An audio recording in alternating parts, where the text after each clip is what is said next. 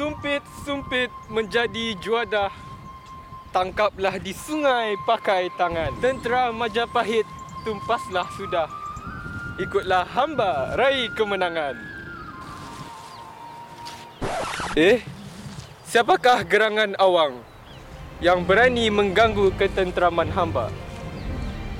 Hamba awang semaun Manusia paling gagah di tanah poli ini